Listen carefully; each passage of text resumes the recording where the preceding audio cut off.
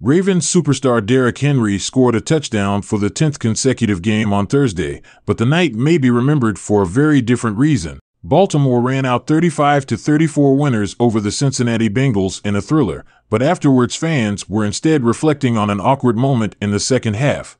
As Henry was tackled just short of the Bengals' 25 yard line, he inadvertently had his pants pulled down for the entire world to see.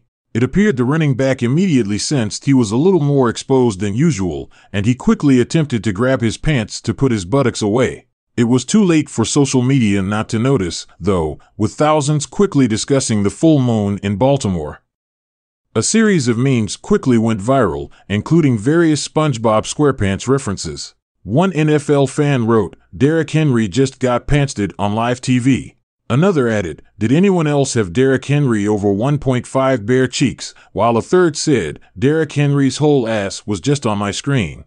In the game itself, the Ravens managed to overcome an incredible Ja'Marr Chase performance to steal the win and take their record to 7 3 for the season.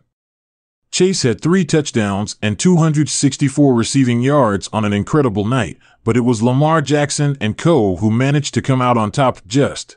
The game came down to the final seconds when the Bengals scored a touchdown and had the option to force overtime or going for two to win the game.